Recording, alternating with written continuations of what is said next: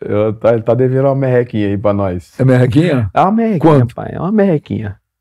É uma merrequinha. Ele vai pagar. Eu não sei. Vai pagar os caras.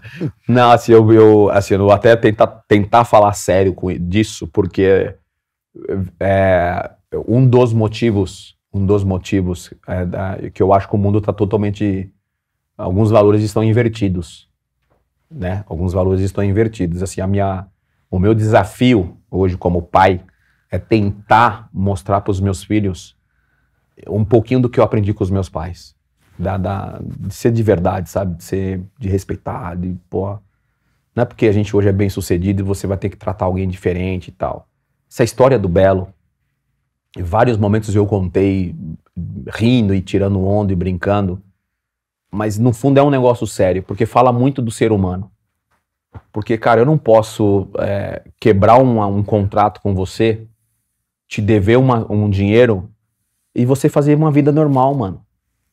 E, e- e- e como é que você coloca a cabeça num travesseiro, mano? Se hoje eu vou num posto de gasolina e esqueço a carteira, eu bato em casa, pego minha carteira e volto e pago a gasolina, irmão. Eu não consigo ficar pensando que eu tô devendo a porra do posto de gasolina, mano. Eu bato em casa e já volto. Irmão, puta, tô sem a carteira. Vou ali e já volto. É o certo a ser feito, irmão. Então o negócio tomou uma proporção e eu sinto que a proporção que tomou isso é muito. tá- foi, foi pro lado do, do, do meme, das brincadeiras, e é algo sério, caralho. Não é uma brincadeira. Não é uma brincadeira. O cara dever e o cara fazer vida normal. Quantos anos já faz isso? Faz um tempão, né? De 2000. Dois, de 2000 e. Acho que 2000. Mas eu acho que em 2004 ou 2005, não lembro necessariamente, mas desde a entrada do processo deve ter aí uns 15 anos, eu acho. E, e nunca foi tramitado ainda? Não, já, já tá executado, irmão. Não tem negócio de instância. Não Ah, tem. então foi pago. Foi É pago isso? o quê, irmão? Foi pago o quê, tio? Deixa eu ver aqui. De repente, nessa hora nós tá gravando, vai que caiu alguma coisa. Irmão, não é não é normal, Benja, mano. Não é normal, cara. Não é normal. E aí eu, sei lá, velho, eu não, eu não Vocês sou. nunca se trombaram eu não sou juiz, eu não sou. Porque, tipo, também não tem a ver mais com justiça. A justiça fez a parte dela. Sabe assim? Justiça, em todas as instâncias, deu causa ganha. Agora é execução, é pagar, irmão. A minha conta é X. Só deposita, bebê. Não tem. Ah, eu não tem, irmão. E aí o negócio vira brincadeira. Ah, o, o, o Belo não te pagou ainda. Tio, aqui não tá devendo você, irmão. E Se tivesse eram, devendo você, você ia ver. vocês eram brother, Denilson? Não, não era brother, brother, não. A gente se conhecia por causa a gente gostava do, do segmento, né, do pagode. Eu sempre gostei do pagode.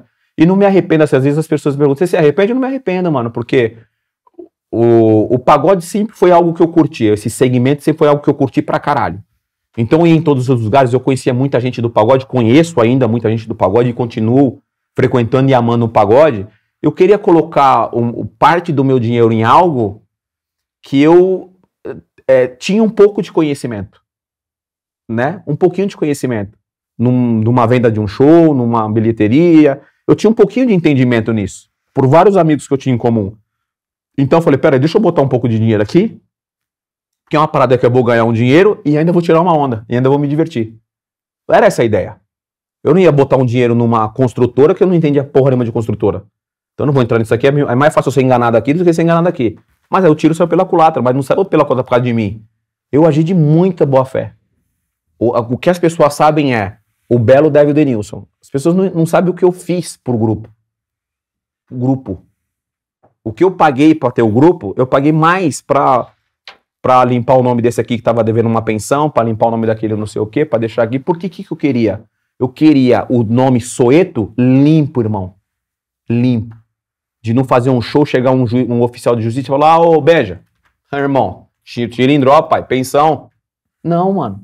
Ah, Porque era o meu nome que tava em jogo. você foi zerando eu fui zerando a vida de todo mundo, Não sabia. sabe? Então eu agi de muita boa fé. Se você pegar qualquer, qualquer é, membro ali do grupo ali e perguntar, nenhum tem isso pra falar de mim.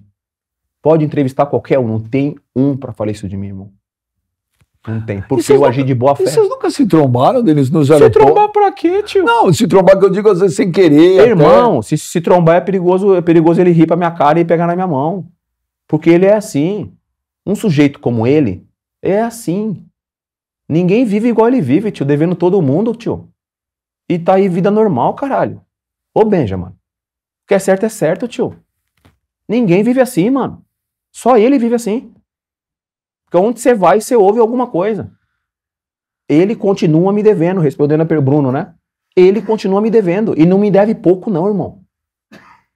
E o pior é nego falar, esquece isso aí. Esquecer isso aí? Ah, não, Não vou esquecer, irmão. eu jamais falaria Não esquece vou isso aí. esquecer. Óbvio que não. Ele me deve milhas, irmão. Ele não me deve mil reais, não. Ele me deve milhas. E não é pouco, não, tio. Como é que eu vou esquecer? Pode ser que o Davi receba esse dinheiro aí, meu filho, minha filha. Mas não, não, vou, deixar, não vou dar sossego, eu vou continuar. Porque é o certo a fazer.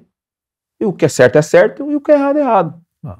Simples assim. Nisso, estou 101% com você. Uai?